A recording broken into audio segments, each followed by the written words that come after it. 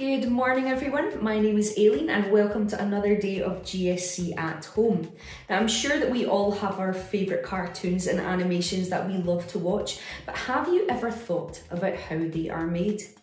Well, technology has changed the way that animations are made these days, but the very earliest examples of animation actually use an optical illusion to make them work. And that is still the basis of the animations that we see today. Now, I want to show you something this morning, and you can actually make one for yourself.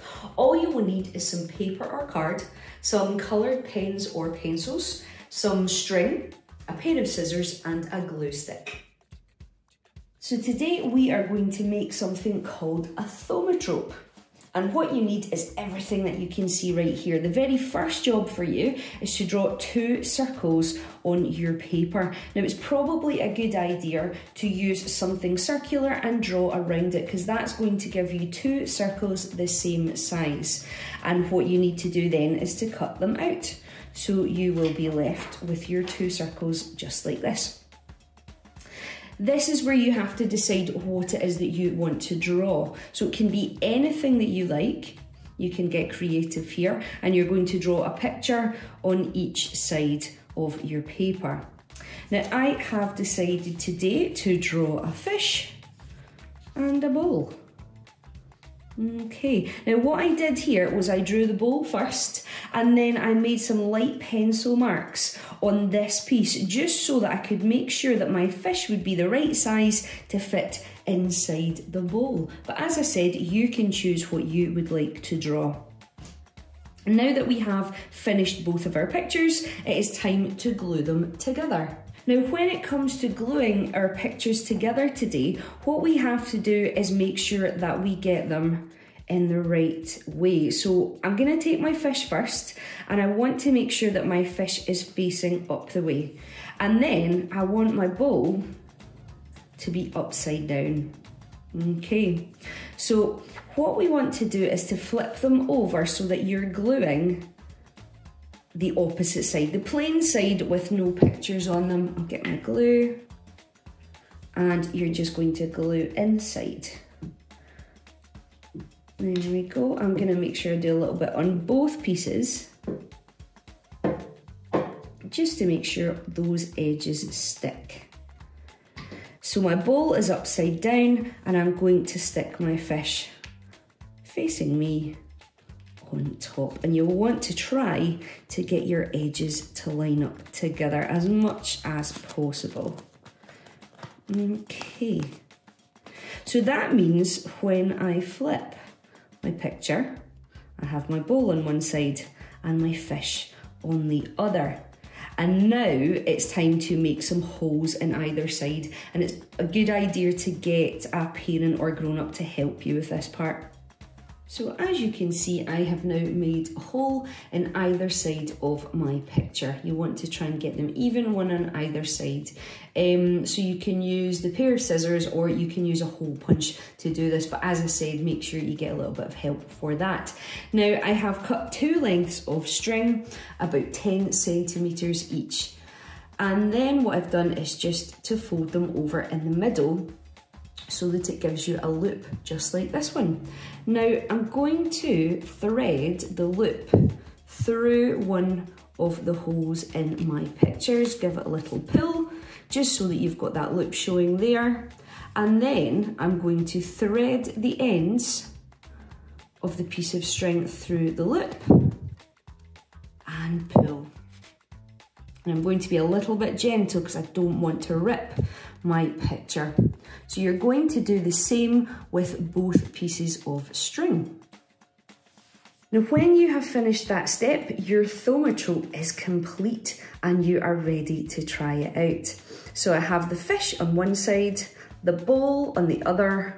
What do you think might happen? Let's try it.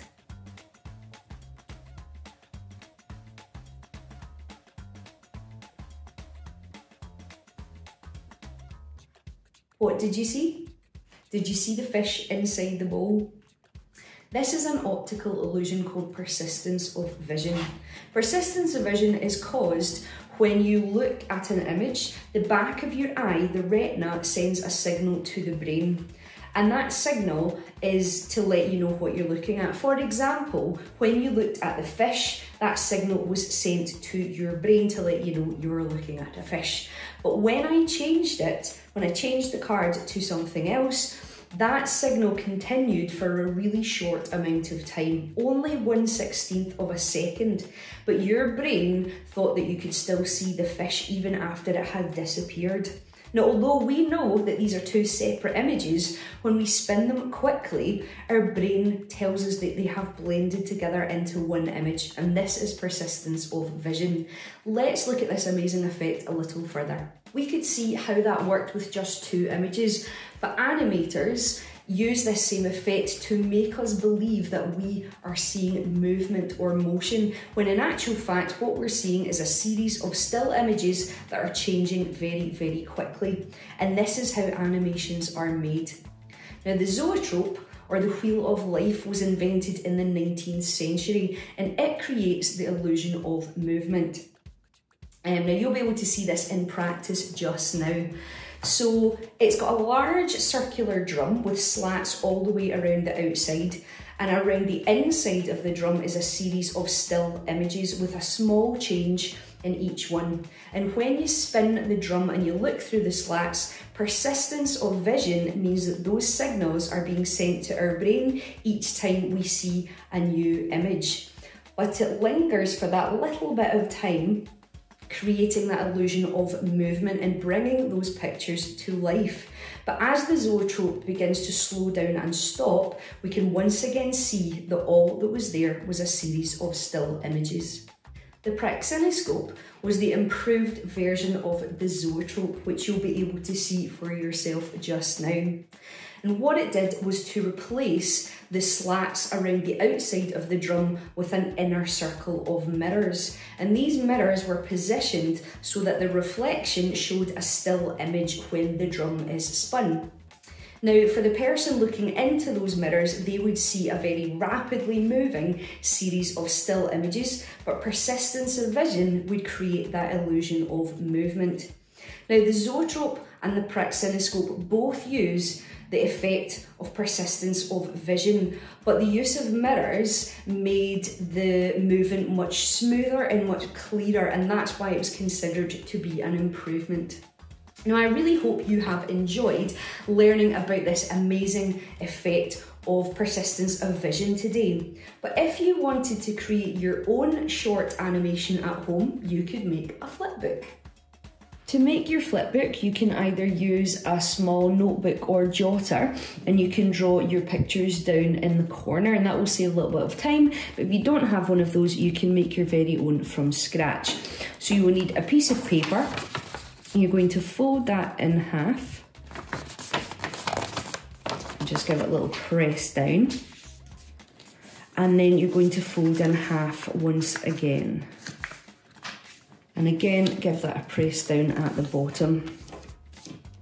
So once you've done that, you can fold it back out and you're going to have a piece of paper with these lines down the middle and these are just a guide for you to cut. So you need to get your scissors uh, and maybe get a grown up to help you with this part as well and you're going to cut down each of those lines and that will give you four strips of paper just like this. Now with these four strips, you need to fold them in half once again. Give that a little press down. And then you're going to cut down that line as well with your scissors. And that will give you eight pages for your flipbook. Now you want to make sure that the edge that you have that you're going to draw against is the edge of the paper, not the edge that you cut because that will be a straighter edge and then you're going to tap them all together, make sure they all line up and at this point you can attach them either by stapling them or by using um, something called a bulldog clip, which looks just like this. Now, I would recommend that you do this same thing two or three times with two or three pieces of paper, and that will give you plenty bits to draw on in your flipbook. And mine is right here and ready to draw. And you can even have a little flick through and just make sure that it is working. and then it'll be time to draw. So now we are ready to get drawing. Now you can draw anything that you like. I would suggest that if this is your, your first flip book you've made, that you keep your idea quite simple. That is definitely what I'm going to do. Now I'm going to turn to the back page of my flip book and start there. And you want to make sure that whatever you're making is on this edge so that you can see it really nice and clearly. So I think I am going to draw a rocket launching. So you'll see that I'm going to start with a little pencil drawing of a rocket because I want to be able to rub out any mistakes. But I am then going to go over it in a black marker so if you've got a dark coloured felt tip pen at home, that would be a super duper thing to do. So there we have all the little pieces of my rocket. I think that will do it. So as I said, I'm now going to go over this in black marker. And the reason for that is because when I lay the next piece of paper on top, hopefully I'll be able to see just a little bit of the outline shining through the paper. And that means I don't have to guess where to draw the next one.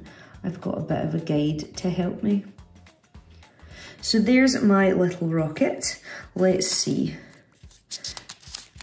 if that works. So yeah, if I lift that just a little bit, you can see that that is just shining through the paper enough for me to see. And I'm going to draw with a slight movement this time. So I'm going to take it up the way I'm going to start just a tiny bit higher up. The thing to remember is to make your movements small in each picture. If you make a big change and a big movement in between each one, it's gonna look a little bit clunky when you come to test it out. So keep your changes small and you can draw as many pictures in your flip book as you like, but I would recommend doing somewhere between 12 and 24. I think we'll maybe start to see a little bit of dust, a little rumble at the bottom of our rocket. So I'm just going to go over this yet again in black pen. And then I'm going to continue with my drawings until my rocket has moved all the way up and into space. So like I said, you can draw any idea that you like. And the more confident you get, the longer the animations you can make. So I'm gonna go away just now and finish my flip book and I'll show you my results and I hope that you start making yours too. Okay, so here is my finished flip book. Let's give it a try.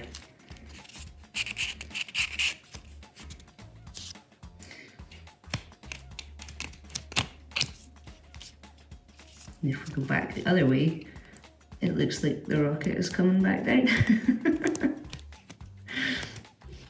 there we go. now I'm sure that you will be uh, able to do a lot better than me, but I hope that you have enjoyed uh, having a shot at making a flip book. You have all been fantastic animators today. I really hope that you've enjoyed learning more about the amazing effect that is persistence of vision and that you have learned a little bit more about how animations are made. Now, if you do make your own thaumatrope or your own flipbook, please do tag us in them as we would love to see them. If you have any questions or comments, we will do our best to answer them. Um, thank you so much for joining us again today. Stay safe. Bye for now.